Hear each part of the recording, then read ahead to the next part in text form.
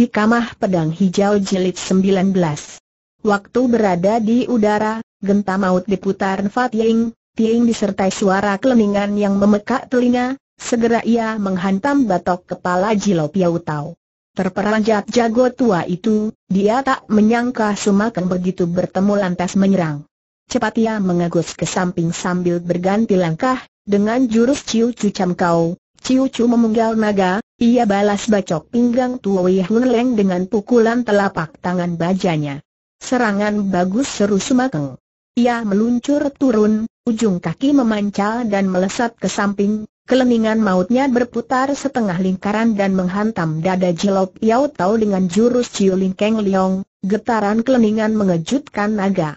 Sumakeng tidak malu disebut jago tangguh dari Pahtosan Cheng, bukan saja cepat dalam gerakan, Jurus serangannya juga aneh dan lihai.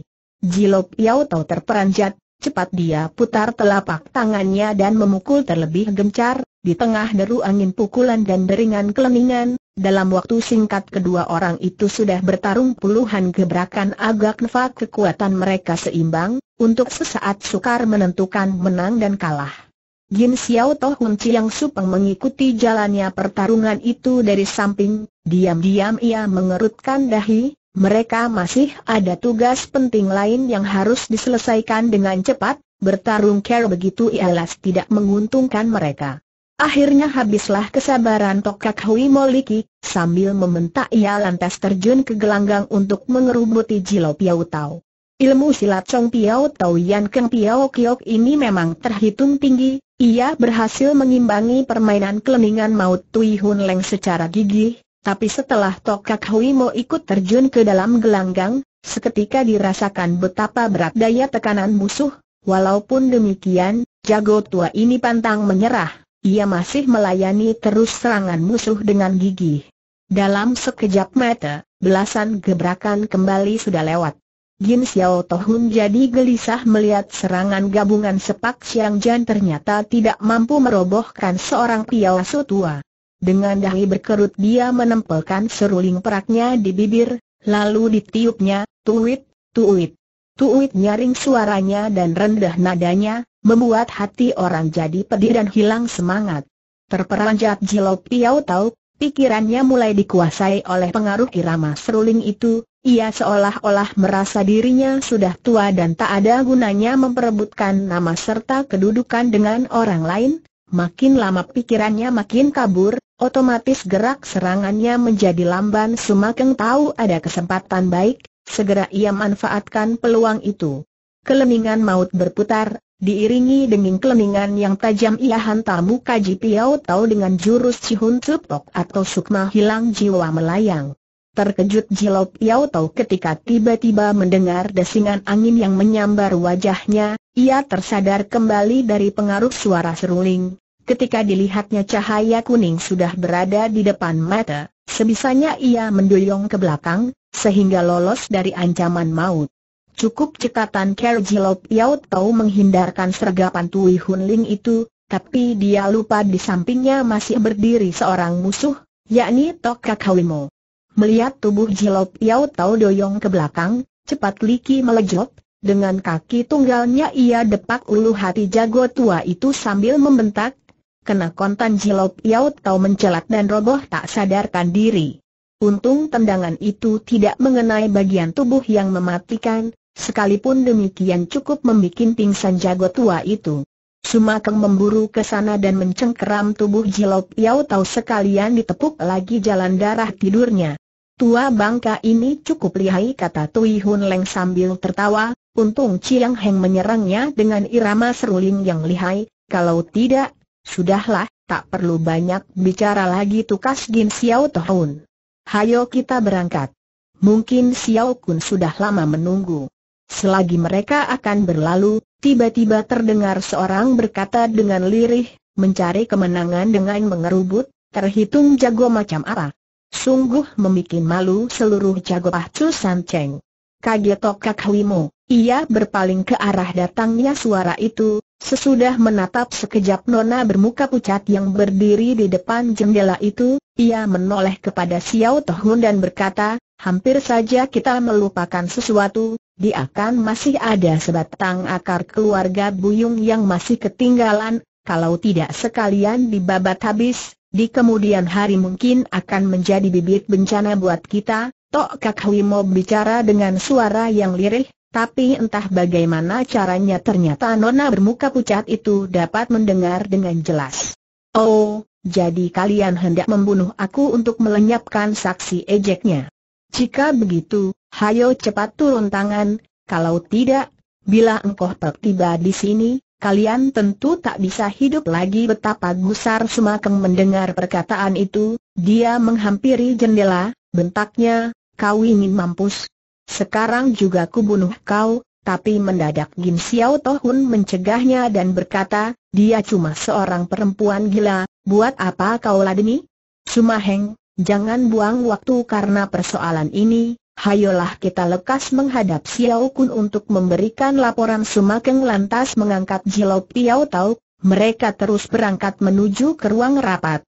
Ruang rapat berada dalam keadaan gelap gulita, di tengah-tengah ruangan sebuah meja panjang terletak di dekat dinding, di atas meja terdapat kitab serta barang antik, sedangkan di bawah meja ada sebuah pintu rahasia setiba di depan meja, Gin, Xiao Toh Hun Chiang Supeng lantas maju ke muka dan menekan tombol rahasia di bawah meja itu dengan seruling peraknya.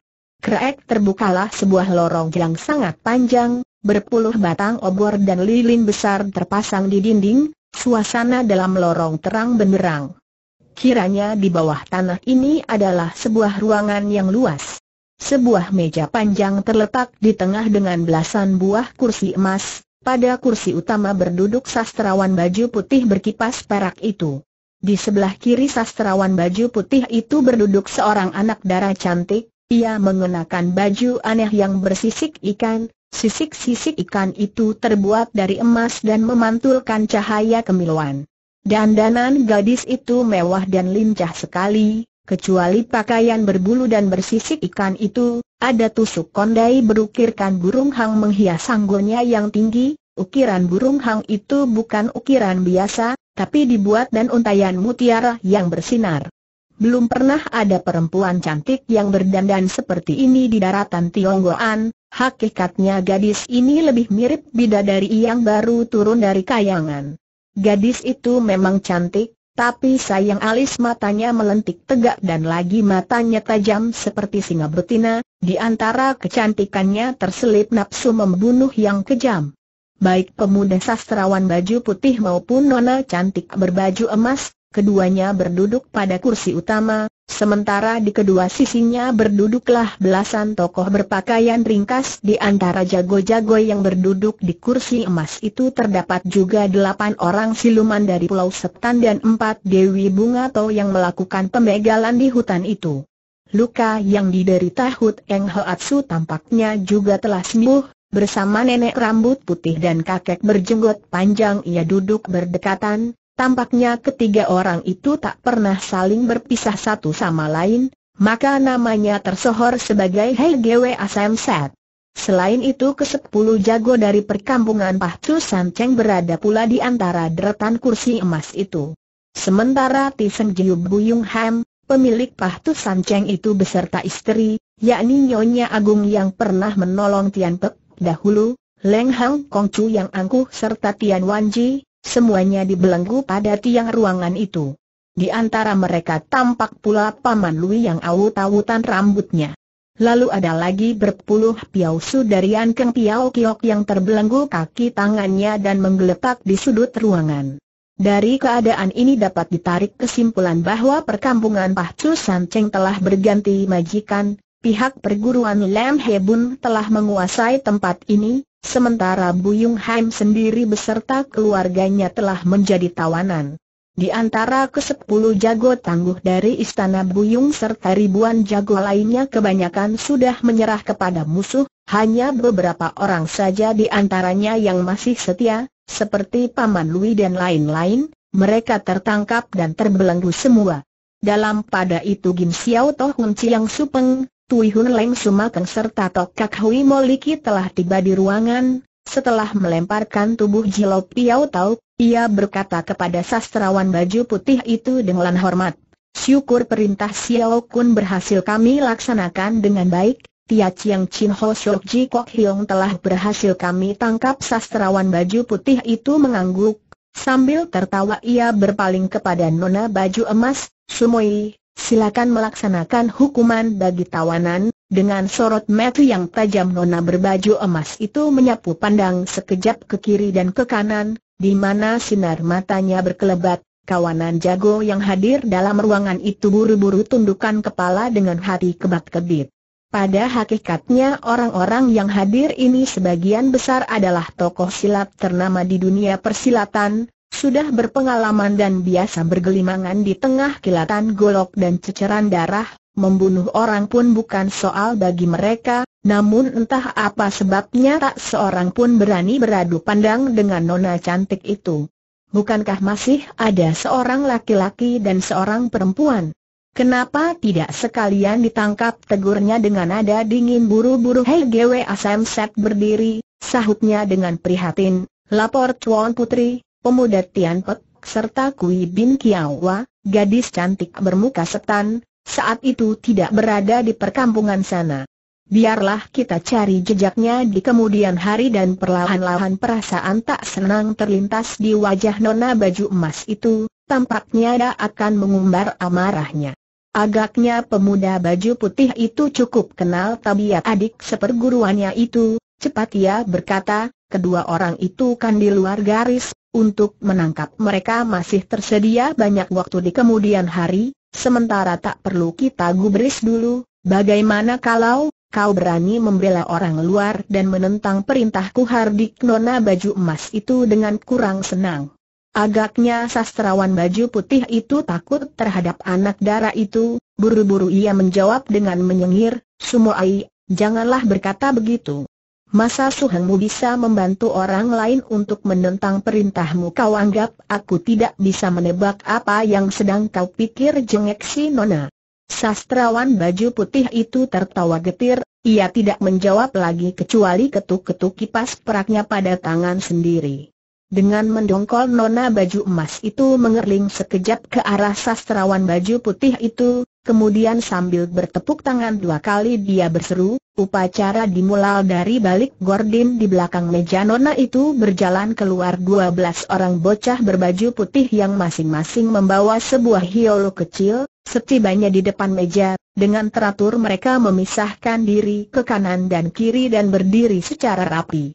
Bau harum semerbak memenuhi seluruh ruangan, kabut tipis mengepul keluar dari hiolo kecil itu memenuhi ruangan membuat suasana menjadi remang-remang. Kejadian aneh tiba-tiba timbul, begitu semua orang mencium bau harum semerbak itu, pikiran mereka lantas linglung, apa yang terlihat seakan-akan adalah malaikat yang agung dan berwibawa, yang terpikir oleh mereka hanyalah takluk dan tunduk, sama sekali tiada pikiran hendak menentang atau melawan sebaliknya orang-orang yang semula tak sadar, setelah mencium bau harum itu segera jernih kembali pikirannya. Yang dimaksudkan sadar di sini hanya sadar dalam perasaan, yakni bisa mendengar, bisa melihat tapi daya pikir masih tetap tenggelam di tengah kekaburan. Jilop Yao Tau yang semula tak sadar kini pun telah mendusin, Tatkala dia membuka matanya dan menyaksikan pemandangan aneh ini, seketika ia melongo. Selagi semua orang berada dalam keadaan limbung, dari belakang gorden muncul lagi belasan orang lelaki berkerudung, orang-orang itu bergerak kian kemari dengan cepat, ada yang menarik kursi dan ada yang menggeser meja, dalam sekejap peruangan rahasia itu sudah berganti rupa. Sebuah lukisan besar menghiasi dinding ruangan itu, lukisan seorang berkepala botak dan berkaki telanjang.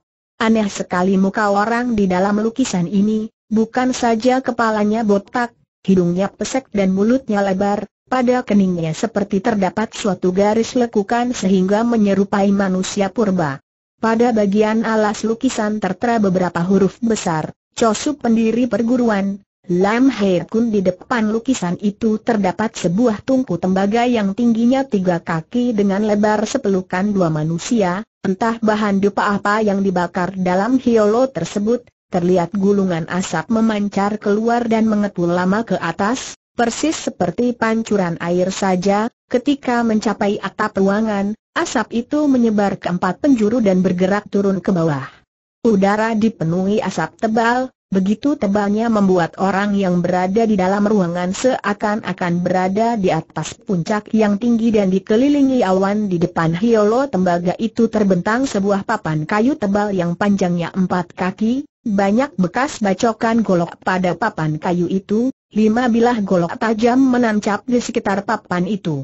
Lebih kecil golok itu daripada golok yang biasa dipakai orang persilatan, panjangnya cuma dua kaki, tapi jauh lebih tajam dan lebih mengkilap.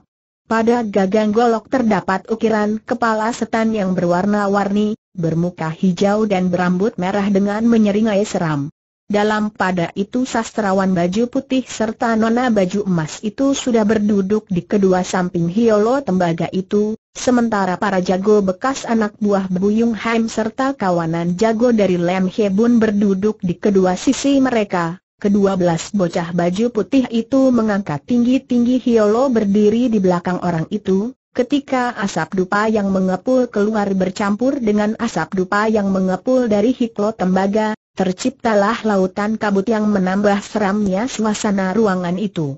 Di tengah ruangan rahasia itu terdapat empat buah tiang yang besar, pada setiap tiang tersebut terikat satu orang yakni Tisen Bayung Ham, istrinya, yaitu Nyonya Agung Setengah Baya, Leng Hang Kongcu serta Tian Wan Ji.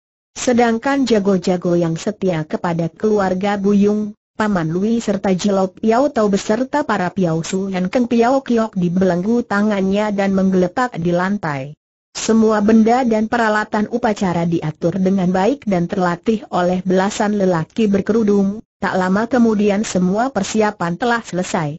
Pelahan gadis berbaju emas itu menyapu pandang sekeliling ruangan, dia mengangguk sedikit dengan sikap yang sangat hormat para lelaki berkerudung itu menjura lalu mengundurkan diri di tengah keheningan yang mencekam, tiba-tiba terdengar suara benda dipukul, keras dan melengking suaranya, menggetar hati setiap orang.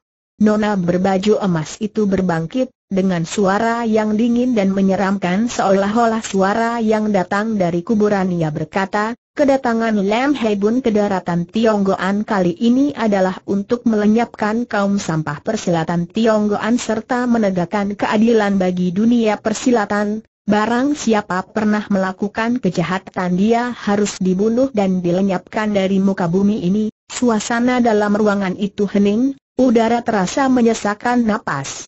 Dengan tajam sorot metu nona baju emas itu, menyapu sekejap ke arah kawanan jago yang pada bungkam dan tunduk kepala rendah-rendah itu, ia menuding Ti Senjiu, lalu katanya pula, di masa lampau, Buyung Ham adalah salah satu dan Kang Lam Jit Hiap, tapi karena ia kemaruk harta dan gila pangkat, secara diam-diam ia bersekongkol dengan orang lain untuk membinasakan saudara angkatnya sendiri. Pek Kolek Kiam Tian Intian, Coba bayangkan, pantaskah manusia semacam ini menerima kematian pantas dihukum mati jawab semua orang tanpa terasa. Ya, bunuh Jilo Piao Tau yang terbelenggu terperanjat, sebab diketahuinya tanpa disadari mulutnya ikut meneriakan kata bunuh itu. Padahal dia tidak berpikir demikian, akan tetapi tanpa bisa dicegah mulutnya berteriak sendiri. Aneh kalau diceritakan, tapi kenyataan Fa memang begitu. Sementara dia merasa tercengang, si nona baju emas itu telah bertepuk tangan sambil berseru, laksanakan hukuman lima orang laki-laki kekar setengah telanjang muncul dari balik gorden, masing-masing mencabut sebilah golok berkepala setan dari sisi papan tadi, kemudian bergerak maju. Seret.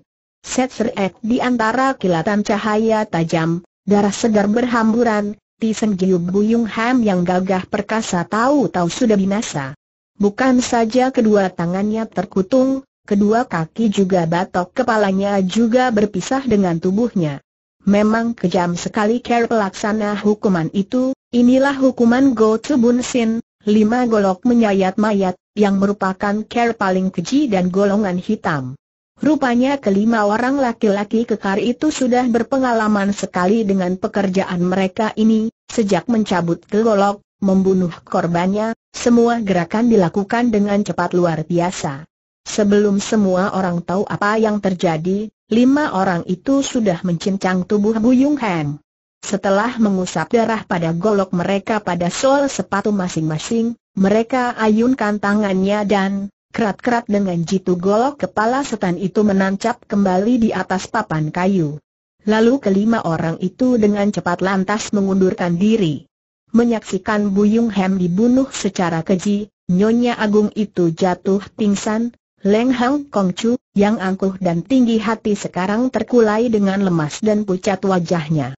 Hanya Wan Ji saja yang pantang menyerah, dengan mata melotot ia mencaci maki kalang kabut, perempuan anjing, sakit hati ini sekalipun sampai di akhirat tetap kutuntut. Nona berbaju emas itu pura-pura tidak mendengar, dengan suara yang tetap dingin dia menuding nyonya setengah baya yang pingsan itu, katanya, perempuan ini membantu suaminya melakukan kejahatan, dia tidak melaksanakan kewajiban sebagai seorang perempuan, dia pantas mati. Tidak perkataan itu lebih mirip suatu perintah, anehnya perkataan itu diutarakan seperti minta permupakatan kepada para jago, dan yang lebih aneh lagi ternyata kawanan jago itu memberikan tanggapan. Pantas mati, bunuh bergemuruh teriakan orang banyak. Bersama dengan seruan yang hiruk pikuk itu, lantas di balik dinding ruangan itu terdengar suara ribut mulut yang lirih. Seorang perempuan dengan suara merdu sedang berkata, Tadi kan sudah kukatakan bahwa aku hanya mengajak kau menyaksikan keramaian, kenapa kau ingin mencampuri urusan orang lain? Aku pernah berutang budi kepada nyonya ini, jawab yang lelaki dengan cepat.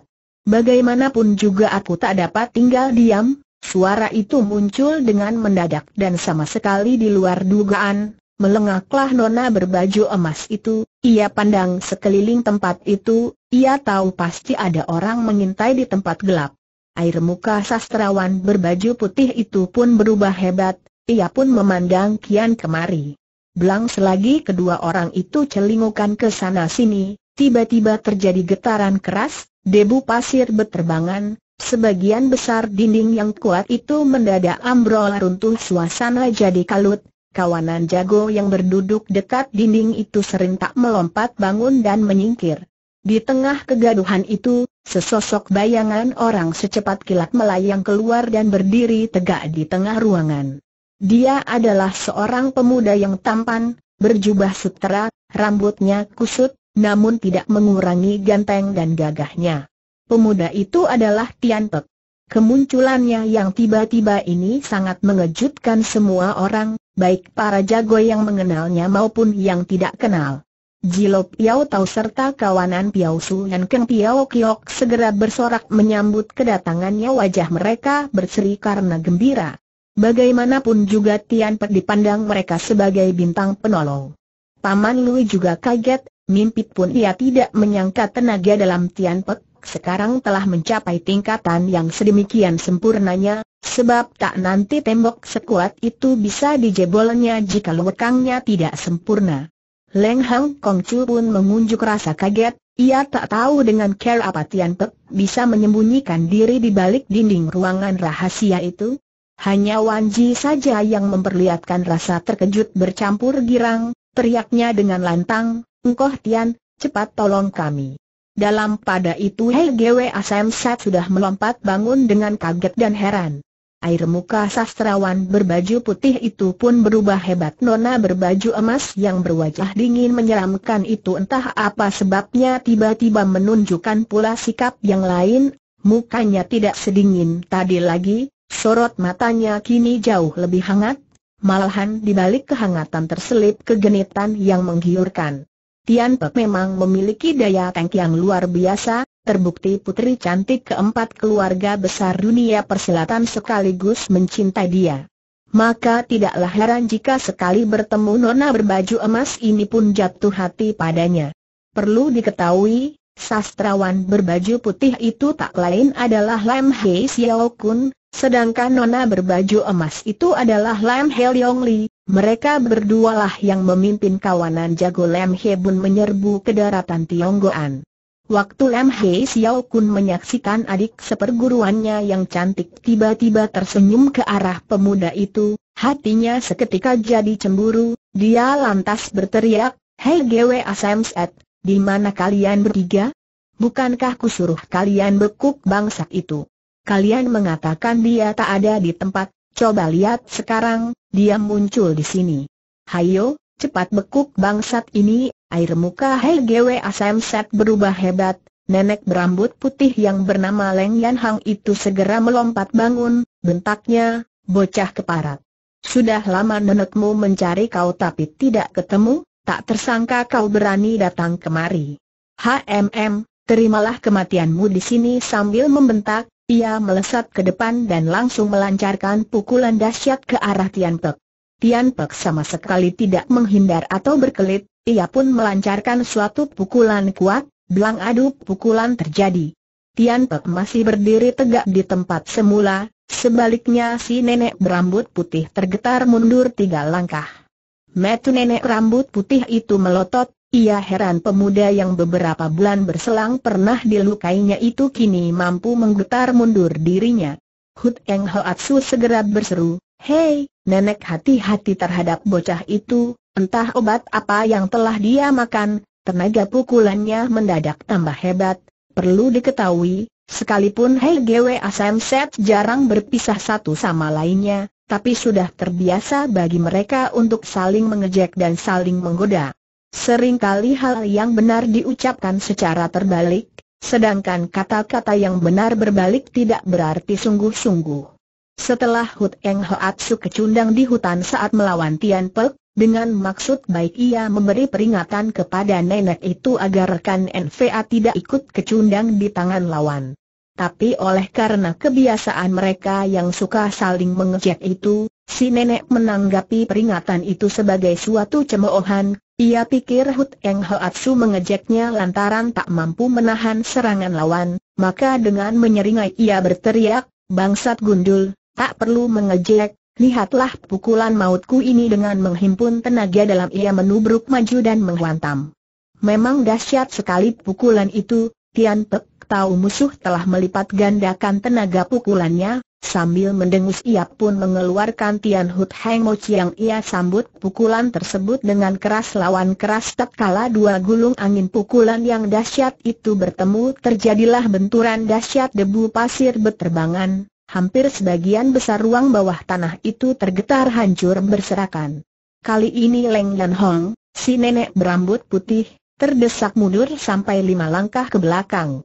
Matanya melotot makin besar, rambutnya yang beruban sama menegak, sungguh ia tidak percaya pemuda yang pernah dihajar sampai terluka pada tiga bulan yang lalu, sekarang ternyata memiliki kekuatan yang jauh lebih dahsyat daripadanya. Kekalahan beruntun ini membuat hatinya penasaran, sambil berpekik nyaring, ilmu jari sakti Sohun yang paling diandalkan lantas dikeluarkan, dengan sepenuh tenaga ia incar jalan darah Sian Gihiat di tubuh musuh. Nyonya Agung setengah baya yang telah mendusin dari pingsannya serta Tian Wanji dan kawanan Piao Su dari Keng Piao Kiok serentak berseru khawatir. Namun Tian Pek sendiri sama sekali tidak panik, dengan lima langkah Cian Hoan Biao Hiang Poh ia menggeliat ke samping dan tahu-tahu sudah lolos dari ancaman. Kriit dengan menerbitkan suas nyaring, tenaga jari si nenek mengenai sasaran yang kosong, sebuah lubang segera muncul di dinding batu yang berada jauh di belakang sana. Setelah terhindar dari serangan maut itu, dengan ilmu langkah Cian Hoan Biao Hiang Poh, Tian Pek segera memburu ke belakang nenek itu, untuk kesekian kalinya ia menghajar lagi punggung si nenek. Nenek berambut putih itu seorang yang tinggi hati, bukan saja ilmu silatnya tinggi, pada hati-hati biasa jarang sekali ada orang yang mampu menandinginya, dengan ilmu Sohun Chi, menurut perkiraannya Tian Pek pasti tak mampu menghindarkan diri andaikan tidak mati pasti juga akan terluka parah. Tapi kenyataannya baru saja serangan tersebut dilepaskan, tahu-tahu dia kehilangan jejak musuh. Untuk sesaat nenek itu jadi melengak. Pada saat itulah mendadak dirasakan hawa panas menyambar dari belakang.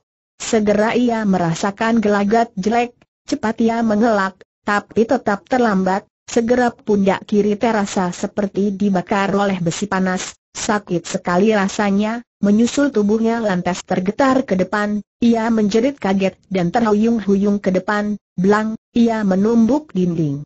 Kontan kepalanya jadi pening tujuh keliling matanya berkunang-kunang dan dadanya jadi sesak, sampai lama Leng dan Hong tak sanggup berkutik.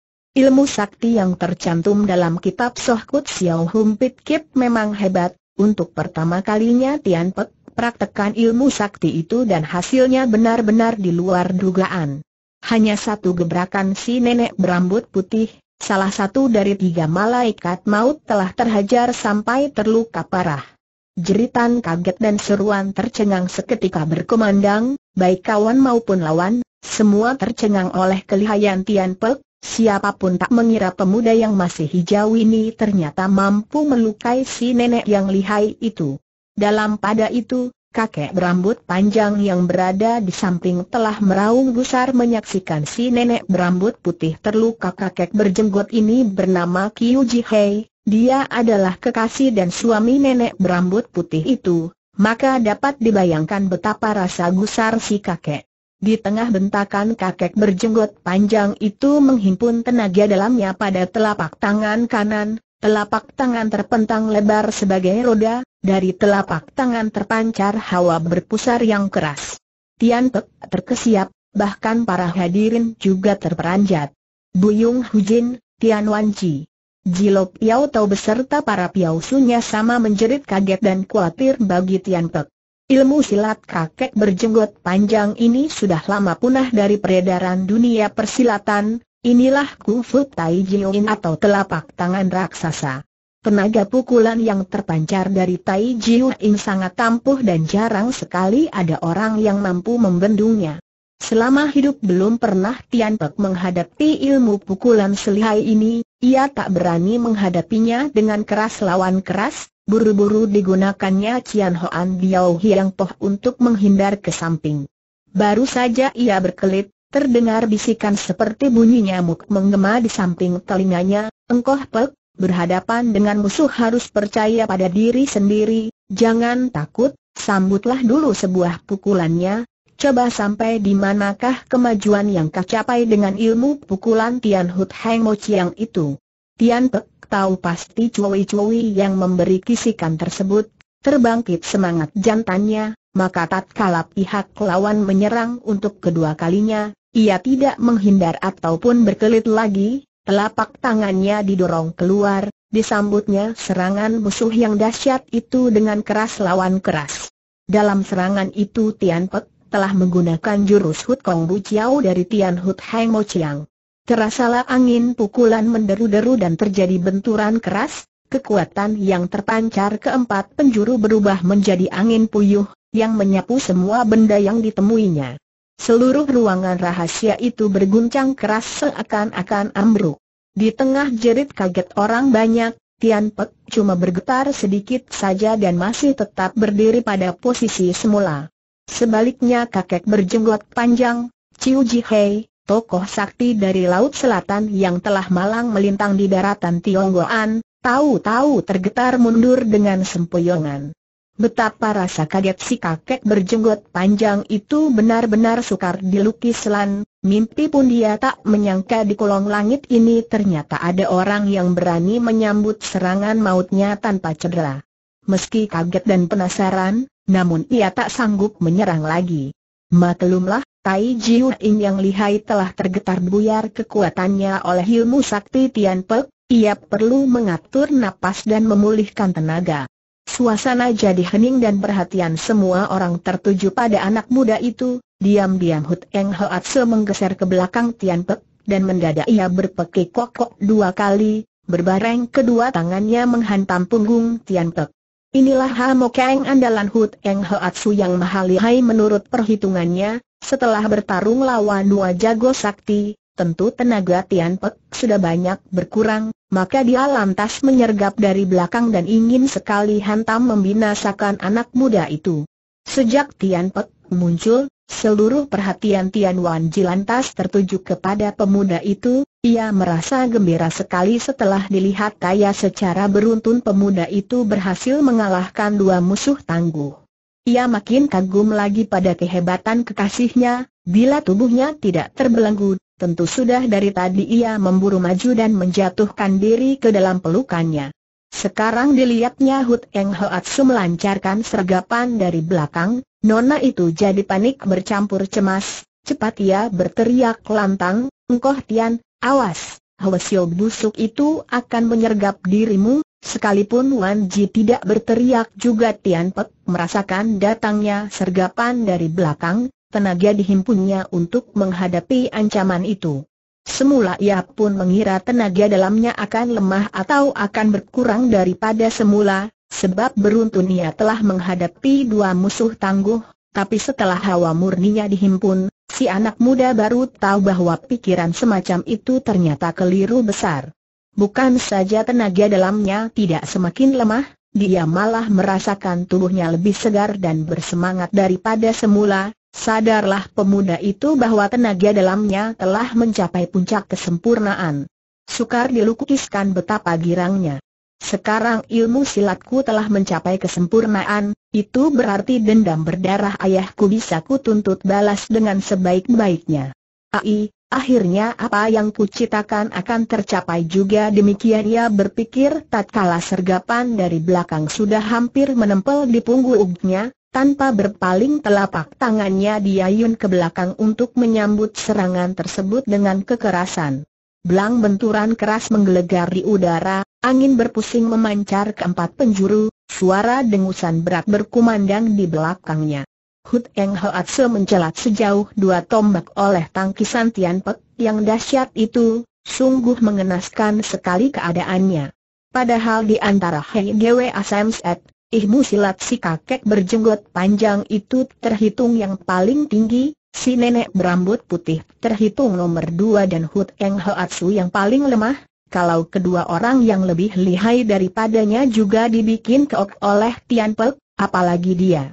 Rupanya ia salah menilai kekuatan Tian Pek, sebab disangkanya tenaga pemuda itu pasti sudah lemah karena telah menghadapi kakek berjenggot dan nenek berambut putih beruntun. Ia tidak tahu kalau Tian Pek telah mendapat penemuan aneh yang tak terduga, bukan saja hawa murninya sudah mencapai kesempurnaan, ia pun berhasil menyerap intisari ilmu silat yang tercantum dalam kitab Soh Kut Xiao Hun Pit Kip sehingga sumber tenaga Tian Pek boleh dikatakan tidak pernah kering. Begitulah tubuh Hut Eng mencelat seperti bola dan menumbuk dinding, darah bergolak dalam tubuhnya, matanya berkunang-kunang dan kepala pusing tujuh keliling, akhirnya ia pun muntah darah. Secara beruntun dalam waktu singkat Tian Pek berhasil mengalahkan Hei Gwe Set. Peristiwa ini sungguh membuat terkesiap baik lawan maupun kawan suasana jadi hening, semua orang dengan mata terbelalak mengawasi Tian Pek, tak seorang pun berani maju lagi ke depan. Sin Leong Tai Chu, pangeran dari Lem Hebun, Si sastrawan berbaju putih itu, memegang kipas peraknya erat-erat, ia kaget dan gugup, sementara biji matanya berputar kian kemari, entah rencana busuk apa lagi yang sedang dia susun. Air muka kedelapan siluman dari Pulau Setan juga pucat seperti mayat, mereka tidak menduga di daratan Tionggoan masih terdapat jago setangguh itu. Kawanan jago dari istana keluarga Buyung yang kini takluk kepada Lem Hebun seperti Gin Sia Auto Hun Chiang Supeng, Tui Hun Leng Sumakeng Tok Kak Hui Moliki serta lain-lainnya sama berdiri diam bagaikan patung, peristiwa itu sama sekali di luar dugaan mereka, untuk sesaat orang-orang itu pun ketakutan. Hanya empat Dewi Bunga To serta Lem Heliong Li, yaitu si gadis berbaju emas, yang tetap tenang-tenang saja, tidak tampak rasa kaget dan takut di wajah mereka, malahan senyum genit menghiasi bibir mereka.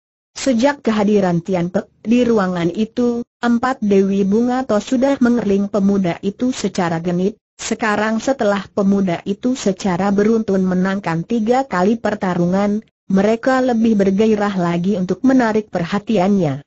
Goyangan pinggul yang bikin hati berdebar, kerlingau batu yang memabukkan serta suara tertawa yang mengkili-kili hati sungguh membuat orang lupa daratan. Mengenai Lem Heliong Li, dia memang cantik jelita, kecantikannya jelas tidak kalah dibandingkan Cui Cui, hanya sayang sikapnya yang sombong serta tindak tanduknya yang dingin, inilah yang bikin orang lain tak berani memandang dan mendekatinya. Padahal gadis mana yang tak mendambakan cinta? Seorang gadis kalau sudah dewasa, dengan sendirinya mengidamkan seorang pemuda tampan untuk menjadi kekasihnya, cuma Lam Heliong Li ini dibesarkan di pulau setan yang jauh dari daratan, belum pernah nona itu menemukan seorang pemuda idamannya. Mok Witochu, kepala pulau setan, Lam Hei Kun, sejak mendirikan perguruan Lam Hei Bun, kecuali didampingi jago-jago lihai yang rata-rata sudah lanjut usia, anak muridnya kebanyakan adalah manusia kasar yang bertampang kriminal, hanya putra tunggalnya saja, yakni kakak seperguruan Lam Heliong Li, hanya pemuda inilah yang dapat dikatakan tampan. Sayang kakak seperguruannya ini terlalu bangor, suka main perempuan di sana-sini, Wataknya yang jelek ini memberikan kesan yang jelek pula dalam pikiran Lam Hai Leong Li, dia menganggap laki-laki di dunia ini tak ada yang baik. Mendingan kalau cuma begitu saja, kemudian ternyata Lam Hai Kun menyerahkan kekuasaan tertinggi dari perguruannya kepada nona ini, secara otomatis pula wataknya berubah keji dan tinggi hati. Tapi hari ini, setelah bertemu dengan Tian Pek yang berilmu silat tinggi dan berwajah tampan, ia terpesona, untuk pertama kalinya perasaan kewanitaannya tersentuh, dia merasa bahwa Tian Pek inilah yang didambakannya, pemuda tampan seperti inilah yang diharapkan mendampinginya sepanjang masa. Oleh sebab itulah, sekalipun secara beruntun Tian Pek telah melukai tiga orang jago tangguh Lam dia tidak menjadi gusar, Sebaliknya senyum manis menghiasi wajahnya, dia berbangkit dan menghampiri anak muda itu, katanya, siapa kau? Kenapa kau berani memusuhi Lam Hai Bun kami seandainya perkataan itu diutarakan orang lain, mungkin para jago tak akan merasa heran, tapi kata-kata itu diucapkan oleh Lam Heliong Li yang sudah biasa bersikap ketus dan dingin, Apalagi ucapan tersebut ditujukan kepada musuh yang secara beruntun telah melukai tiga jago lihainya. Sudah tentu Tian Pek tak tahu akan hal ini, sekalipun dilihatnya senyuman manis menghiasi mulut Lam Hai Hong Li yang cantik bak bidadari dari kayangan itu, namun ia pun menyaksikan hawa nafsu membunuh yang sangat tebal yang menyelimuti wajahnya. Aku Tian Pek jawabnya kemudian dengan lantang, Aku tiada bermaksud memusuhi Lam Hebun kalian, hanya saja aku merasa penasaran menyaksikan perbuatan kalian yang membunuh orang seenak sendiri, oleh sebab itu sengaja aku muncul di sini untuk menegakkan keadilan dan kebenaran bagi umat persilatan umumnya. Jawaban itu sesungguhnya diucapkan dengan jujur, tapi bagi pendengaran Lam Heliong Li terasa ketus dan menghina. Hehe, besar amat lagakmu jengeknya. Kau bicara menurut perasaan hatimu sendiri ataukah ada orang lain yang menjadi tulang punggungmu di belakang layar Tian Pek? Jadi marah. Ia tak tahu anak darah inilah pemimpin Lam Hebun, ia menyangka seorang anak darah berani memandang enteng padanya, ini berarti pihak Lam Haibun terlalu menghinanya dengan setengah berteriak, ia berkata, aku Tian Pek, tidak mengenal arti tulang punggung segala, Aku pun tak pernah diperintah orang dari balik layar, apa yang ingin kulakukan segera kulaksanakan, aku berani berbuat berani pula menanggung risikonya, dengan pedang buceng pekiam inilah akan kusapu setiap manusia jahat di dunia ini. Kedengarannya memang amat jumawa ucapan tersebut. Tapi semua orang pun dapat merasakan betapa gagah dan jantannya pemuda ini, banyak orang bersorak memuji keperwiraannya terutama Wan Ji serta nyonya setengah baya yang pernah menolongnya itu, air mata mereka hampir saja bercucuran saking terharunya. Siapakah yang berani menunjukkan sikap sekeras itu di hadapan musuh yang jelas memiliki kekuatan berkali lipat daripada pihaknya? Maklumlah, pengaruh Lam Hebun di dalam dunia persilatan besar sekali, bukan saja mereka telah menaklukkan empat keluarga besar, hampir semua jago baik dari golongan putih maupun dari kalangan hitam sama tunduk dan takluk kepada mereka, tak seorang pun di dunia persilatan yang berani secara terang-terangan menentang mereka.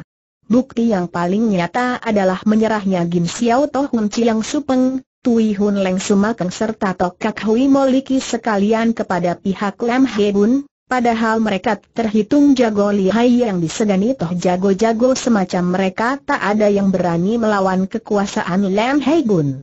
Tapi sekarang Tian Pek, Seorang pemuda yang masih hijau telah menunjukkan keberanian yang luar biasa, tak heran kalau semua orang dibikin tercengang bahwa Tian Pek berani menandingi Lam Hei Bun yang telah menaklukkan dunia persilatan Tionggoan, sungguh keberanian anak muda ini pun luar biasa, maklum, tiga bulan lamanya ia hidup di gunung untuk merawat lukanya, dengan sendirinya ia tidak tahu keadaan sekarang. Begitulah kening Lam Heliong Li seketika berkernyit, katanya, kalau begitu, jadikah sudah mengambil keputusan akan memusuhi Lam Hebun kami Tian Pek mendengus, betapa mendongkolnya pemuda itu melihat nona berbaju emas itu tak pandang sebelah mata padanya. Tanpa bicara lagi ia menghampiri nyonya setengah baya yang terikat di tiang itu dan melepaskan tali pengikatnya.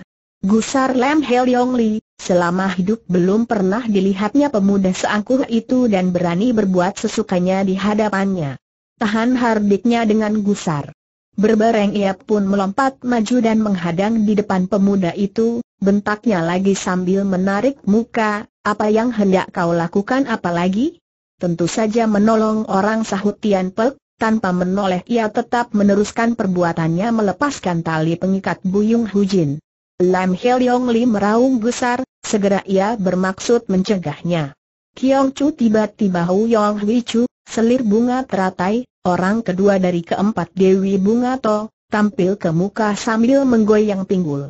Buat apa Chuan Putri turun tangan sendiri untuk membekuk seorang bocah, biarlah kami kakak beradik yang melaksanakan tugas ini berbicara sampai di sini, ia mengerling sekejap kepada saudara-saudaranya agar bersiap sedia. Ketiga Dewi Hungato lainnya sama tertawa genit sambil goyang pinggul mereka melayang ke tengah gelanggang dan mengepung Tian Pek. Tentu saja Lem Heliong Li sendiri pun memaklumi akan kedudukannya, maka setelah keempat Dewi Bungato terjun ke gelanggang, ia lantas mengundurkan diri. Ia tahu, bicara soal tenaga dalam, jelas jauh keempat Dewi Bunga To itu kalau dibandingkan Hei Gwe Asam Set. Tapi ia pun tahu kelicikan keempat Dewi itu, mereka banyak tipu akalnya dan mahir menggunakan obat biusnya, untuk menghadapi Tian Pek yang masih hijau tentu mereka lebih meyakinkan daripada Hei Gwe Asam Set. Tian Pek tetap tidak menghiraukan, Selesai membuka tali belenggu di tubuh Buyung Hujin, ia pun hendak melepaskan tali belenggu Anji. Baru saja tangan anak muda itu akan memegang tali yang membelenggu Anji, tiba-tiba ia menangkap suara dengusan lirih, suara dengusan itu amat ketus dan jelas penuh rasa cemburu. Tian Pek melengak, ia tahu dengusan itu pasti suara cui-cui yang bersembunyi di balik dinding, tapi ia tak peduli, ia tetap berusaha melepaskan tali pengikat Wan Ji. Setelah bebas dari belenggu, Buyung Hujin menggerakkan tangannya yang kaku, kemudian mengucapkan terima kasih kepada Tian Pek, lalu dengan air mata bercucuran ia membereskan jenazah suaminya, Piseng Jiu Buyung Ham yang mati tercincang dengan mulutnya berkomat kamit seperti membaca doa semua peristiwa itu berlangsung hanya sekejap, maka suara dengusan lirih tadi pun tidak menarik perhatian orang.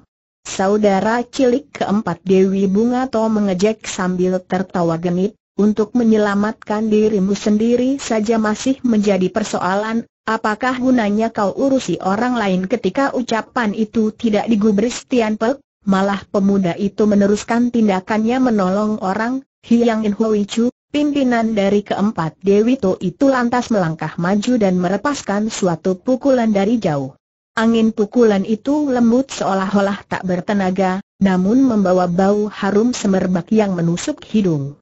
Tian Pek tak berani gegabah, ia pun mengayunkan telapak tangannya dan menyambut serangan tersebut dengan keras lawan keras.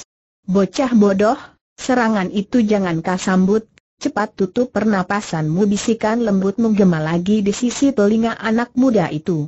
Sungguh terkejut Tian Pek demi mendengar bisikan itu, buru-buru ia menutup pernapasannya, walau demikian tak urung ada sedikit bau harum yang tercium olehnya, kontan kepala jadi pening dan mata berkunang-kunang. Setelah pemimpinnya bergerak, ketiga dewi lainnya serentak bertindak pula, masing-masing melancarkan suatu pukulan dari jauh. Tiga gulung asap berwarna putih dengan membawa bau harum serentak terpancar ke depan dan mengurung sekujur badan Tian Pek. Untunglah cui-cui dengan cepat memberi kisikan sehingga anak muda itu menutup pernapasannya, kendati pun bau harum obat bius yang dipancarkan Hyang In Chu ada sebagian yang tercium olehnya, tapi dengan dasar tenaga dalamnya yang sempurna, sedikit ia salurkan hawa murninya, Obat bubuk itu seketika dipaksa keluar dari dadanya. Maka ketika angin pukulan yang dilancarkan ketiga orang dewi lainnya menggulung tiba, bukan saja Tian Pek tidak roboh, malahan kesadarannya jauh lebih segar. Dengan jurus Sam Ching Ye Bun, menyapu bersih hawa iblis, Tian Pek balas dengan pukulan dahsyat ke depan angin puyuh disertai suara gemuruh dengan gencarnya menyapu keempat dewi cabul itu. Tohoa Susian menjerit kaget, buru-buru mereka menghindar, bagaikan kupu-kupu yang berterbangan di antara pepohonan mereka kabur ke sana sini. Berhasil dengan gerakan menghindar, delapan telapak tangan yang putih halus diayun kembali ke muka dengan lincah, empat gulung hawa berbau harum yang jauh lebih tebal kembali menyambar ke depan mengurung sekujur badan Tian Pek. Untung Tian Pek dapat menutup pernapasannya, ia tak takut lagi menghadapi serangan kabut harum itu, ketika dilihatnya delapan buah telapak tangan halus itu menyerang ke arahnya, ia sama sekali tidak menghindar ataupun berkelit, jurus kedua dari ilmu pukulan Tian Hut Hang Wochi yang segera dilontarkan. Keempat, Dewi Lem Hebun ini memang tangguh sekalipun mereka harus menghadapi pukulan dahsyat, Ternyata mereka sanggup bergerak lincah ke sana kemari, sekalipun angin pukulan itu kencang dan kuat, sekali melejit tahu-tahu mereka sudah terlepas dari ancaman maut. Mereka berusaha menghindari pertarungan adu kekerasan, bila diserang mereka berkelit dan melayang mundur, setiap kali ada kesempatan bubuk pemabuk yang harum baunya segera ditaburkan. Mereka yakin Tian Pek takkan sanggup menutup pernapasannya terlalu lama sambil bertempur. Lama-kelamaan anak muda itu tentu tak tahan, suatu ketika bila pemuda itu menarik napas, dia pasti akan keracunan dan jatuh tak sadarkan diri. Mereka tak menyangka bahwa Wekang Tian Pek berasal dari kitab pusaka Soh Kut Xiao Hun Pit Kit, Semacam ilmu tenaga dalam yang berbeda dengan ilmu wekang pada umumnya, asal satu kali dia tarik napas, maka hawa murni akan beredar dengan lancarnya di dalam dada dan sanggup tahan sampai sekian lamanya. Sebab itulah meski pertarungan telah berlangsung puluhan gebrakan, namun Tian Pek masih tetap segar bugar, jangankan pusing atau sempoyongan, gejala mabuk pun sama sekali tidak ada. Toho Asusian mulai tercengang, Sambil bertempur mereka pun berpikir, aneh, benar-benar sangat aneh, masakah bocah ini sudah melatih diri sehingga mencapai tingkatan Kim Kong Put Huai, ilmu kebal yang membuat badan tak rusak. Padahal kabut pemabuk sukma yang kami gunakan adalah obat pemabuk khas dari Lem Hei. Orang lain bila kena sedikit saja akan segera pulas, tapi dia ternyata sanggup bertarung terus sekian lamanya, Sungguh peristiwa yang sangat aneh dari rasa heran, keempat Dewi itu jadi penasaran, karena penasaran mereka pun jadi ingin menang, begitu terhindar dari suatu serangan Tian Pek, gadis tersebut segera membentak, Mega inginkan baju bunga inginkan tamu, berbareng dengan ucapan tersebut, ia pentang kedua tangan dan berjumpalitan di udara, baju luarnya yang tipis itu tahu-tahu sudah dilepaskan. Dengan terlepasnya kain penutup badan, maka terlihatlah sebuah tubuh yang halus dan berliuk-liuk seperti ular. Putih halus tubuh nona itu, payudaranya yang montok dengan garis tubuh yang mempesona, dengan langkah gemulai dan payudara yang dibusungkan, nona itu melangkah maju, gayanya sanggup membuat mendelik pendeta sekalipun. Setelah Sang Toaci lepas pakaian, Jici, kakak kedua, Huyong Chu tahu encinya telah memberi komando untuk mengeluarkan barisan Laset Mihuntin, barisan iblis wanita pemikat sukma, dia lantas berputar dan berseru, angin sejuk berembus keindahan yang menerawang muncul di depan seraya berteriak, ia lepas bajunya dan dibuang, tubuh yang indah diperagakan di depan orang banyak. Kalau rombongan gadis berkumpul di bukit, Demikian sambung Samci, Enci ketiga, Xiang Hua Hui dengan lantang, ia sadar badan, bajunya tersingkap, pinggulnya yang putih dan gemuk dipertontonkan pula kepada Tian Pek. Cici, Enci keempat, Xiao Xiang Hui cepat menyambung, berkumpul di sorga, ia maju ke depan anak muda itu, melepaskan kancing baju dan membuka pakaian yang tipis itu, diperlihatkannya payudaranya yang putih montok dengan putingnya yang kemerah-merahan sambil berlenggang dan berjoget.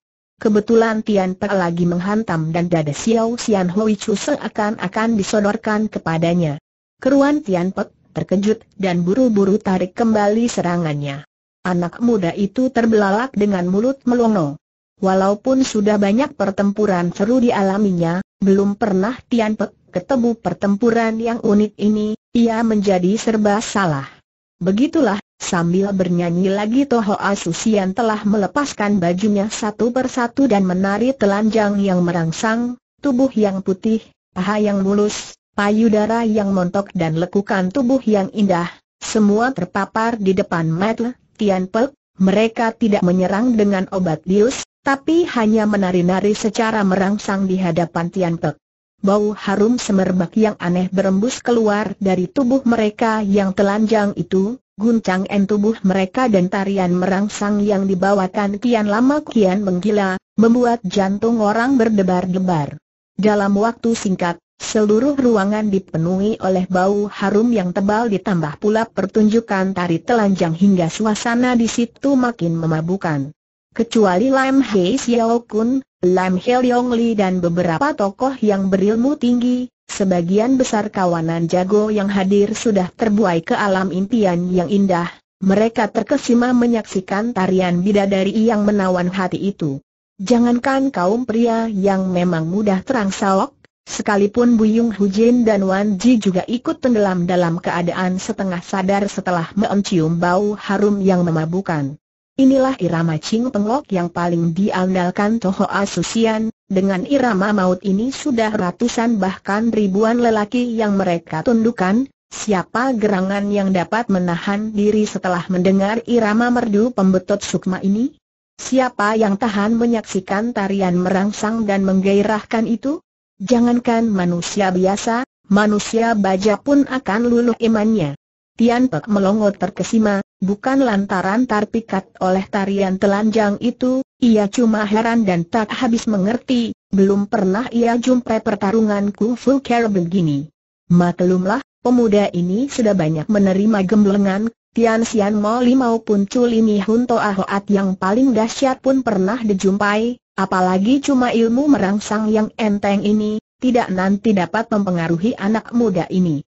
Dasar wataknya memang polos, karena keempat darah itu tidak menyerang lagi melainkan cuma menyanyi dan menari telanjang, dengan sendirinya Tian Pek sungkan menyerang lagi, ia pun berhenti dan memandang tarian telanjang mereka dengan termangu-mangu dan tak tahu apa yang mesti dikerjakan. Tolol! Kenapa melamun melulu demikian tiba-tiba bisikan lirih tadi berkumandang lagi, mengomel sambil tertawa. Jangan kau anggap tarian itu indah dan boleh kau nikmati seenaknya, ketahuilah itulah laset mihunto atin andalan Toho Asusian, bila tidak kau hancurkan barisan mereka, niscaya kaulah yang bakal celaka Tian Pek bergidik, ia tahu cui-cui memberi peringatan kepadanya, cepat ia tenangkan pikiran dan berusaha melepaskan diri dari pengaruh tari merangsang itu.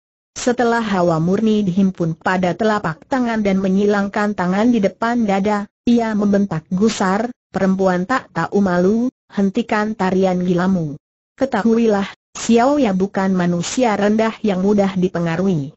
Hektometer, bila kalian tetap nekat dan main gila begini, terpaksa Xiao ya tidak sungkan-sungkan lagi Tian Pek, lupa bahwa kabut beracun masih menyelimuti seluruh ruangan, dia hanya berpikir untuk berbicara dan mengancam keempat lawannya, pernapasan yang selama ini tertutup kini terbuka lantaran harus berbicara.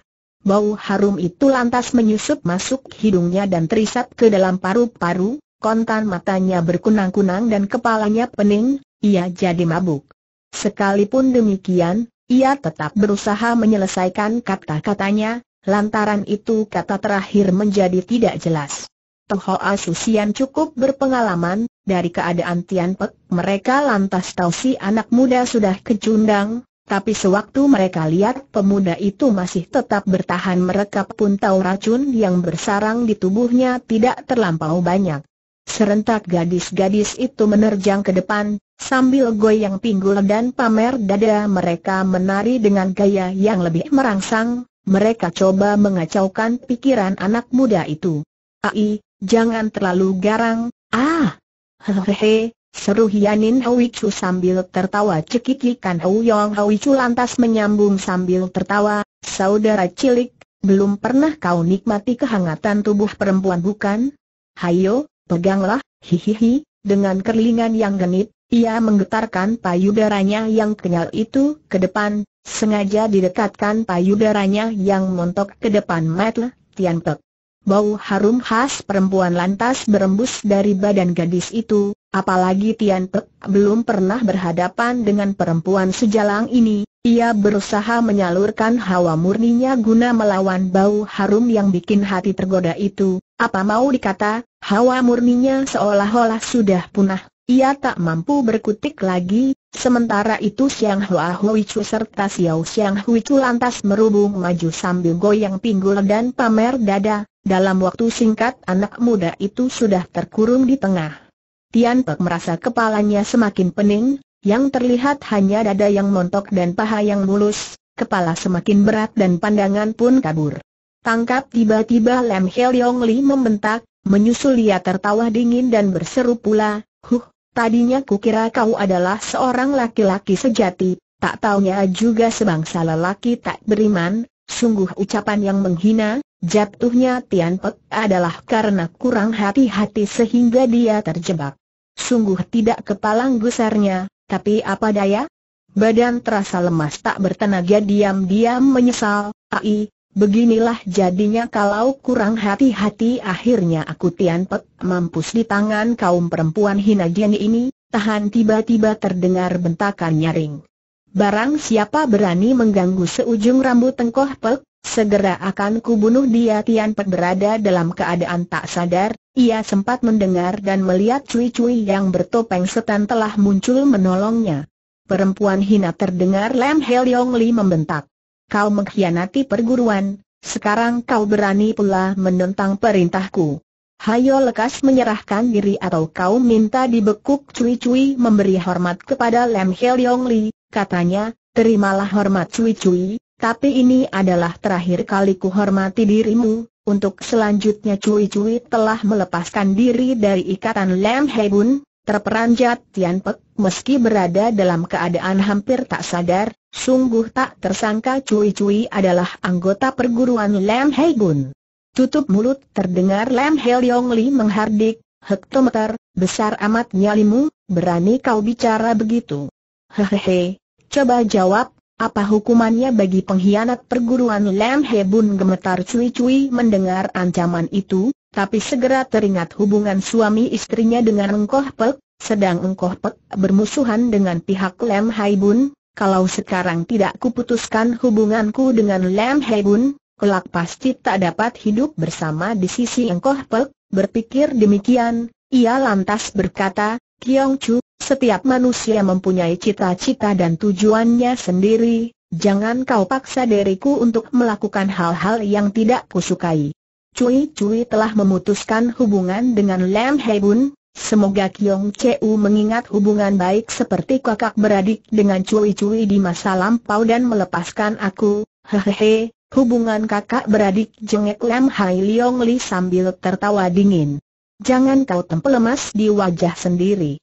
Huh, kau hanya seorang budakku saja, lantaran aku kasihan padamu maka aku bersikap agak baik padamu. Tak terduga kau lantas berbuat sesukamu, bukan saja topeng setanku kau curi, kemudian kabur tanpa pamit dan sekarang berani mengkhianati perguruan, berani juga menentang perintahku hektometer, kau harus diganjar hukuman yang setimpal, cui-cui penasaran, karena Lam Heliong Li bersikap ketus, ia pun tidak lembut lagi, katanya kasar, aku pelayanmu. Hah, enak saja kau mengoceh. Aku melayani kau lantaran ayahku numpang di rumahmu, Aku berbuat demikian karena ingin membalas kebaikanmu tapi kau anggap aku ini pelayanmu. Mengenai topeng, benda itu adalah milik suhu, setelah suhu meninggal, beliau tiada berpesan mewariskan topeng itu kepadamu. Bila kau boleh pakai, kenapa aku tak boleh gusar sekali Lem Hiong Li, dengan mata melotot ia membentak. Kurang ajar, kau berani memberontak? Kalau tak kuhajar mampus dirimu, Tak mau lagi aku menduduki tampuk pimpinan Lam Hai Bun lagi angin pukulan segera menderu-deru, agaknya Lam Hai Liong Li mulai berhantam dengan Li Cui Cui lamat-lamat, Tian Pek masih sempat mendengar bagaimana Lam Hai Xiao Kun berusaha melerai tapi apa yang terjadi selanjutnya tak diketahui lagi karena dia lantas kehilangan kesadarannya, Onolo, Onolo entah sudah lewat berapa lama, tiba-tiba Tian Pek merasa mukanya jadi dingin, ia menggigil dan siuman kembali. Begitu membuka mata, tahu-tahu ia berbaring dalam sebuah kamar yang indah, banyak orang mengerumuni sekeliling pembaringan. Pembaringan maupun kamar itu seperti sudah dikenalnya, setelah dia mati dengan lebih seksama, tahulah Tian Pek bahwa ia berada dalam kamar tidur Leng Hang Kong Chu, kamar yang pernah ia tinggali selama beberapa hari ketika jiwanya ditolong Buyung Hujin dahulu. Wajah orang-orang itu kelihatan cemas dan tidak tenang, agaknya dia telah menjadi pusat perhatian orang banyak dan semua orang berharap ia cepat sadar kembali. Di antara orang-orang itu terdapat pula Buyung Hujin dan Wan Ji, yang satu duduk di depan pembaringan sedang yang lain mendekap di tepi ranjang dengan sorot mata khawatir, mereka awasi pemuda itu, air mata tampak berlinang-linang di kelopak matanya. Liu Cui Cui tampak memegangi sebuah cawan air, rupanya dia yang menyadarkan Tian Pek dengan air dingin itu. Jilo Piao Tau beserta sekalian Piao Su berkerumun di depan pembaringan, saking gelisahnya mereka gosok kepala sambil memandang dengan penuh harap, ketika Tian Pek sadar kembali sesudah disembur air dingin, wajah mereka kontan berseri girang. Leng Hang Kong Chu yang angkuh duduk termangu-mangu di sudut sana, entah apa yang lagi dipikirkannya, begitu sadar Tian Pek lantas melompat bangun dan berseru, apa yang telah terjadi? Di mana orang Lem Hai Bun? Apakah mereka sudah kabur semua Hiante? Jangan bercakap-cakap dulu Jilop Yao tahu cepat mencegah, kau baru sadar, atur dulu pernapasan dan periksa lukamu. Urusan selanjutnya kita bicarakan pelahan-lahan jangan khawatir, tak apa-apa sela cui-cui dari samping, kabut harum pemabuk Mihun Hiang Bu dari Toho Asusian cuma bikin orang semaput dan tidak melukai orang, kalau Wengkoh Pek sudah sadar kembali, itu tandanya dia sudah sehat kembali, oh, Engkoh Tian. Kau sudah sadar seruan Ji dengan muka berseri. Buyung Hujin sendiri tiada hentinya menyeka air mata, sedih dan girang bercampur aduk, bisiknya, Tian Xiao Hiap. Terima kasih atas pertolonganmu, cuma suamiku, dia, meledaklah isak tangisnya yang memilukan hati. Bibir Leng Hang Kongcu bergerak, seperti Ma mengucapkan sesuatu, tapi urung. Sementara itu Tian Pek sudah mengatur pernapasannya dan terbukti hawa murni dapat bergerak dengan lancar. Ia tahu apa yang dikatakan Cui-Cui, tidak salah, Cepat ia melompat bangun sambil menggenggam tangan Cui Cui, serunya penuh emosi, Cui Cui, ku minta kau mengaku terus terang, benarkah kau anggota perguruan Lam Hebun sayu wajah Cui Cui, ia mengangguk pelahan. Kenapa tidak kau katakan sejak mula seru Tian Pek, dengan marah Cui Cui melepaskan tangannya dari cekalan Tian Pek, ia duduk di dekat meja dan tidak bersuara. Pada dasarnya Tian Pek adalah pemuda yang benci pada segala macam kejahatan, apalagi setelah menyaksikan betapa keji dan buasnya orang Lam Hebun, kemudian melihat pula kejalangan Toho Asusian, rasa benci dan muaknya sudah bertumpuk, maka ia merasa kecewa setelah tahu bahwa Cui-Cui berasal satu komplotan dengan mereka. Bila teringat Cui-Cui dan dirinya sudah ada hubungan intim sebagai suami istri, maka ia menjadi gelisah dan marah. Ia mendengus, bagus, bagus sekali, kau berani membohongi aku, Tian Hiante, jangan gusar dulu buru-buru Jilop. Yao tahu menghiburnya, sekalipun Nona Liu bekas anggota Lam Hai Bun, jelas dia telah menolong kau dengan mempertaruhkan jiwa raganya, dari sini dapat kita tarik kesimpulan bahwa dia telah meninggalkan kejahatan dan menuju kebaikan, tapi Tian Pek sudah telanjur marah. Ia tak gubris nasihat Lo Piao Tau, dengan gusar serunya lagi, aku tak peduli, pokok Neva dia membohongi aku karena sejak mula tidak berterus terang padaku, hati cui-cui merasa seperti ditusuk-tusuk. Akhirnya sambil menangis dia kabur keluar ruangan itu. Cui-cui adalah nona yang tinggi hati, jangankan orang lain, sekalipun Lam Heliong yang setiap hari dilayani pun ia berani membantahnya, sekarang ia telah dimaki oleh Tian Pek, di hadapan orang banyak, kejadian ini dianggapnya sangat memalukan. Apalagi dengan mempertaruhkan jiwa raganya ia melepaskan diri dari ikatan perguruan dan menyelamatkan jiwa Tian Pek, sekarang malahan dicaci maki oleh pemuda itu, tentu saja ia bersedih hati, tanpa bicara lagi ia kabur dari situ. Jilop Yao tahu memburu keluar, namun Cui Cui sudah kabur entah ke mana. Nona Liu, Nona Liu Jilop Yao tahu berteriak, namun tiada jawaban, tampaknya gadis itu sudah pergi jauh. Akhirnya ia balik ke dalam kamar, katanya kepada Tian Pek, Tian Hiante, bukannya engkau tua suka menegur dirimu, tapi perangaimu memang terlalu terburu nafsu, biarpun Nona Liu berasal dari Lem Hebun, toh beberapa kali ia sudah menolong kita, bahkan tak segan-segan memusuhi pihak perguruannya, dari situ dapat kita ketahui bahwa ia sudah bertekad meninggalkan Lem Hebun, Pepatah bilang, seorang laki-laki sejati tak akan menghalangi orang lain bertobat dan menuju ke jalan yang benar. Tapi kau telah bersikap kasar padanya, bukankah tindakanmu itu justru akan menjerumuskan dia ke lembah kenistaan sesungguhnya kemarahan Tian Pek terhadap Cui Cui bukan lantaran Cui Cui berasal dari Lem Hebun belaka, tapi merupakan luapan perasaan yang terpendam selama beberapa bulan berkumpul dengan nona itu. Perkenalan Tian Pek dengan Cui Cui sebagaimana diketahui adalah lantaran gadis itu menyelamatkan jiwa pemuda itu ketika terluka, dikala itu Tian Pek hanya merasa berterima kasih tanpa sedikit perasaan cinta pun. Kemudian gerak-gerik Cui-Cui yang misterius dan serba rahasia itu pernah menimbulkan curiganya dan diam-diam ia ingin meninggalkannya, tapi waktu diketahui pedang hijau serta kitab Sohun Xiao Kut telah diambil gadis itu, mau tak mau ia mencari lagi jejaknya waktu pertarungan di tepi sungai melawan Kim Hus yang tiat ui mereka bertemu pula dan karena kurang hati-hati mereka jatuh di dalam sampan dan mengakibatkan terjadinya hubungan tubuh yang melampaui persahabatan, sampai di situ pun tiada dasar cinta yang mendalam di hati pemuda itu, apa yang terjadi itu hanya secara kebetulan saja dan karena dorongan nafsu seketika itu.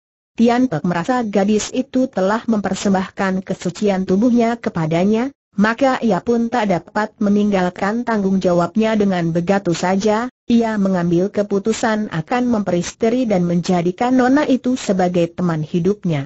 Di sinilah terbukti kebijaksanaan Tian Pek yang mulia dan kebesaran jiwanya. Berbeda dengan Katsui, ia mencintai Tian Pek dengan sepenuh hati, cinta remaja yang penuh gairah kebanyakan memang demikian, sekali pandang lantas jatuh cinta, sekali suka lantas menyerahkan tubuhnya, untung juga dia ketemu Tian Pek, kalau ketemu pemuda bergajul, bisa jadi dia akan merenungkan nasibnya yang malang. Kesungguhan hati Cuai-Cuai bisa dibuktikan dengan kesediaannya berkorban untuk mengobati luka Tian Pe dengan tubuh telanjang, bagaikan ayam yang mengerami telur, setiap hari ia bertelanjang mendekati tubuh pemuda itu serta melaksanakan terapi penyembuhan San Im Liao Siang. Setelah pemuda itu sembuh, dengan bertubuh telanjang dan melakukan gerakan Culini Hunto Aho Atia membantu Tian Pek berlatih tiga macam ilmu mahasakti yang tercantum dalam kitab Soh Kut Xiao Hun Pit Kip, boleh dibilang kesuksesan Tian Pek sekarang adalah berkat bantuan Cui Cui suatu ketika, Cui Cui menggoda Tian Pek dengan sepatah kata, ia berkata, engkau Pek, mulai sekarang kau harus tunduk pada segala perintahku dan tak boleh membangkang, Sejak meninggalkan lembah bukit itulah, Sepanjang perjalanan Nona itu selalu membatasi ruang gerak Tian Pek, bahkan setiap kali mempraktekan ucapan di atas, lama-kelamaan timbul juga perasaan tak puas di dalam hati pemuda itu. Apalagi setiap hari gadis itu mengenakan topeng setan, hal ini mendatangkan pula perasaan tak senang bagi Tian Pek. Perasaan tak puas dan tak senang ini kian menumpuk, lama-kelamaan terciptalah perasaan gemas yang tak terkendalikan. Jilop Yao tahu adalah orang luar, sudah tentu ia tak tahu perasaan muda-mudi itu, dia hanya menganggap Tian Pek yang berbuat kelewat batas. Tapi Tian Pek tetap penasaran, dia mendengus berulang kali, anak muda ini pikir tidak pantas cui-cui membohonginya, ia anggap dirinya sebagai suami cui-cui, tidak sepantasnya seorang istri membohongi suaminya. Sementara itu Buyung Hujin berkata kepada Tian Pek, Nona Liu itu orang baik, kungfunya juga tinggi, tanpa bantuan Nona Liu mungkin kita semua sudah mampus di tangan perempuan sadis dari Lem Hebun itu ah, belum tentu tiba-tiba Wan Ji menyela, seandainya sastrawan berbaju putih yang disebut Lem He Xiao Kun itu tidak bentrok sendiri dengan Lem He Leong Li, kurasa Liu Cui Cui pun tak mampu menghadapi serangan kejat perempuan itu, Wan Ji, Siapa suruh kau banyak mulut tomel nyonya Buyung sambil melotot, bukankah kau sendiri pun dibekuk musuh? Untung kita ditolong Nona Liu, kalau tidak, kalau anak tidak kecundang oleh serangan gelap Toho Asusian, jangan harap mereka bisa membekuk diriku, bantah Wanji dengan penasaran. Melihat kedua orang itu nyaris cekcok sendiri, buru-buru Jilop Yao mengalihkan pokok pembicaraan, sudahlah, urusan yang sudah lewat biarkan lewat, apa gunanya disinggung lagi?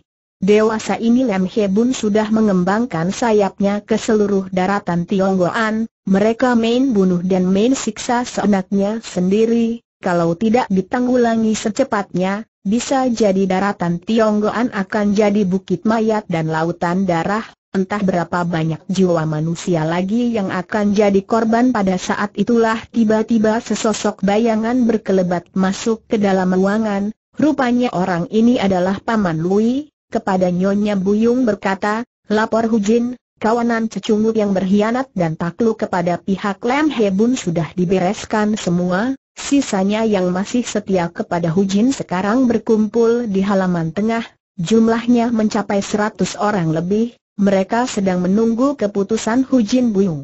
Hujin memang tak malu disebut nyonya pemuka dunia persilatan, meskipun baru saja tertimpa musibah, suaminya baru saja tewas secara mengerikan, namun dia masih tetap tenang menyelesaikan kesulitan-kesulitan yang dihadapinya.